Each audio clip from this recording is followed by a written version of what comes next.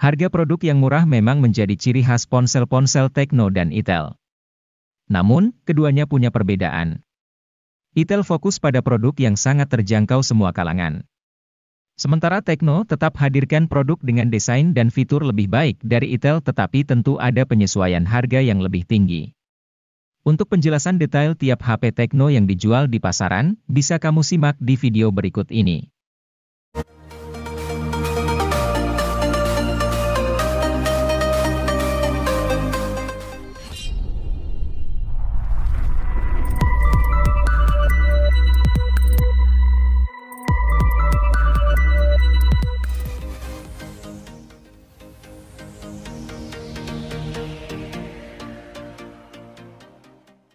Berada di kelas harga 1 jutaan tidak lantas membuat Technospark Go 2023 jadi minim spesifikasi. Di dalamnya terdapat kapasitas baterai 5000 mAh yang membuatnya sanggup tahan seharian. Adapun pada sisi layarnya, perangkat dibekali dengan panel IPS LCD dengan ukuran 6,56 inci pada resolusi HD. Meski belum Full HD, namun resolusinya masih terbilang wajar di kelas harga level entry. Yang menarik dari HP ini adalah keberadaan sensor pemindai sidik jari di belakang, namun sembari tetap mempertahankan unsur estetika desain punggung bodi.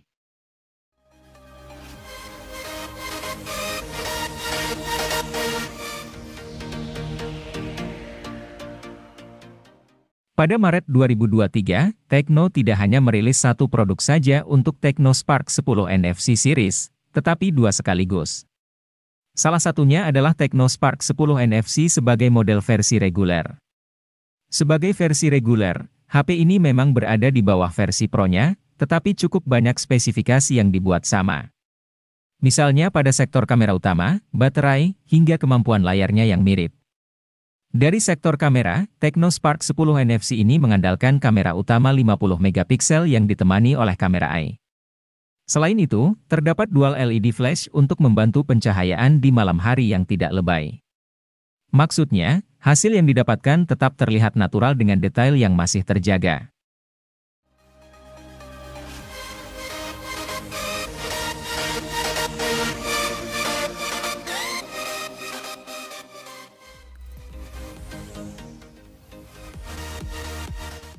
Tekno Pova Neo 2 hadir dengan meneruskan tradisi dari Pova yang mengantongi kapasitas baterai yang besar. HP ini memiliki kapasitas baterai mencapai 7000 mAh yang didukung oleh fitur flash charge 18 watt. Dengan kapasitas besar tersebut, HP ini mampu bertahan seharian untuk menemani setiap aktivitas penggunanya. Memiliki desain yang keren dan futuristik yang terinspirasi dari sebuah meteorit di luar angkasa, HP ini memiliki performa yang tangguh karena memiliki chipset berkelas tinggi. Chipset yang tersemat di dalam Tecno Pova Neo 2 ini yaitu MediaTek Helio G85 yang dipadukan dengan penyimpanan RAM 4GB dengan extended 3GB dan penyimpanan internal 64GB dan 128GB.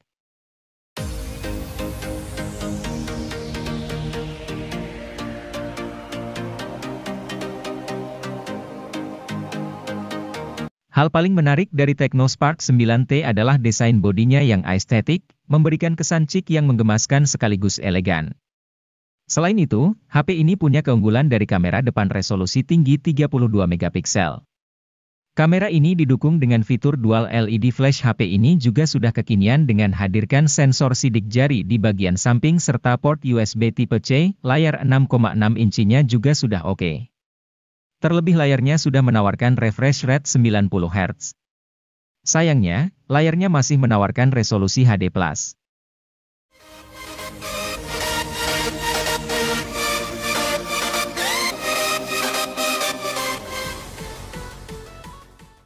Tekno Spark 10 Pro NFC menjadi salah satu Tekno yang cocok untuk anak muda atau generasi Z. HP ini tidak hanya memiliki spesifikasi oke di kelas harganya, tetapi tampilan desainnya juga sangat modern. Spark 10 Pro NFC ini menjadi HP pertama di seri Spark yang menggunakan material kaca di bodi belakang. Hal ini membuatnya terlihat mengkilap, cocok dengan tampilan modul kameranya yang mewah. Soal harga, Tecno Spark 10 Pro NFC ini cukup terjangkau. HP yang rilis pada Maret 2023 ini dijual dengan harga mulai dari 2 jutaan saja. Meski begitu, Tecno Spark 10 Pro NFC ini sudah dibekali chipset MediaTek Helio G88.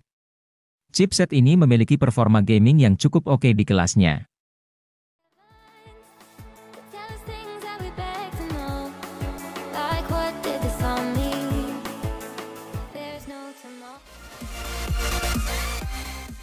Tecno Pova 4 Pro ini membawa spesifikasi dan kemampuan yang mumpuni dalam hal performa, sehingga akan cocok untuk digunakan bermain game, bahkan game berat sekalipun. Mulai dari chipsetnya yang telah menggunakan chipset MediaTek Helio G99 yang memiliki performa tangguh dengan fabrikasi 6 nanometer.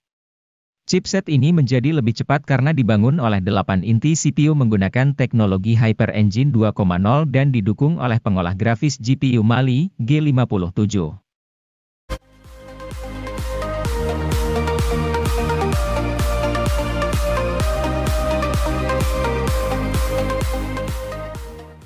Tecno Pova 4 ini memiliki performa dalam bermain game yang tidak kalah tinggi dengan versi Pro-nya. Untuk menghasilkan performa terbaiknya, HP ini menggunakan chipset MediaTek Helio G99 Ultra Gaming yang juga dipadukan dengan penyimpanan RAM 8GB dengan extended 5GB dan penyimpanan internal 128GB. Selain itu, Tecno Pova 4 juga memiliki kapasitas baterai yang cukup besar yaitu 6000 mAh dengan fitur Supercharge 18 Watt. Fitur tambahan lainnya yang juga tersemat pada HP ini adalah sensor hard gyroscope dan Z-axis motors. Tidak hanya unggul dalam performanya bermain game, HP ini juga menawarkan tampilan layar yang cukup memukau sehingga lebih nyaman ketika menggunakannya.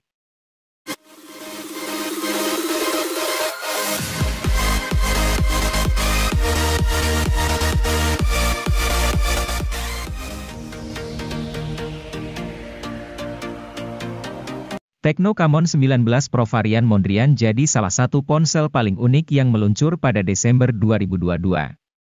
Keunikan utama dari HP ini tentu saja adalah desainnya. Terdapat pola kotak-kotak di penutup belakang si ponsel yang terinspirasi dari karya seniman kenamaan dunia Piet Mondrian.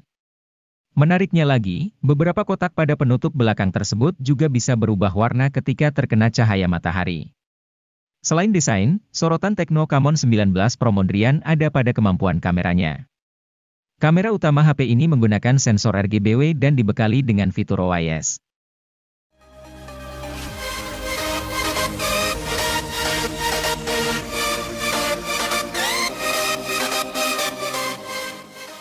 Jika Anda tidak terlalu peduli dengan keunikan desain varian Mondrian, anda bisa memilih Tecno Camon 19 Pro varian warna Eco Black dan Polar Blue.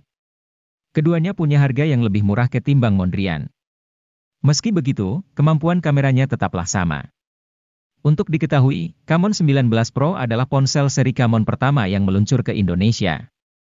Di kelas harga 3 jutaan, inilah salah satu ponsel dengan kamera paling oke untuk foto malam hari. Kemampuan ini dimiliki Camon 19 Pro tak lain karena adanya OIS dan sensor RGBW pada kamera utamanya.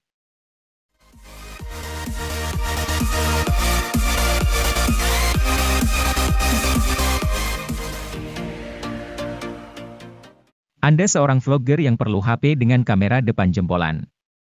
Tampaknya Infinix Zero 20 bisa Anda pertimbangkan. Pasalnya, HP yang satu ini memiliki kamera depan 60 megapiksel yang autofokus serta dilengkapi OIS dan lampu flash.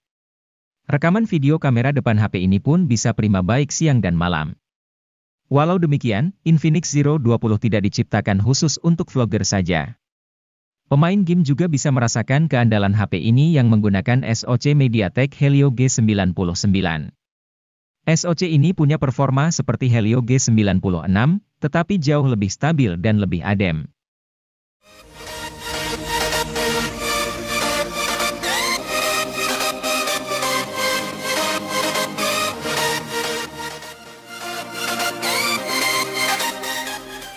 Penampilannya benar-benar premium. Identitas premium terlihat dari bezel tipis, layar melengkung, dan penutup belakang bertekstur unik.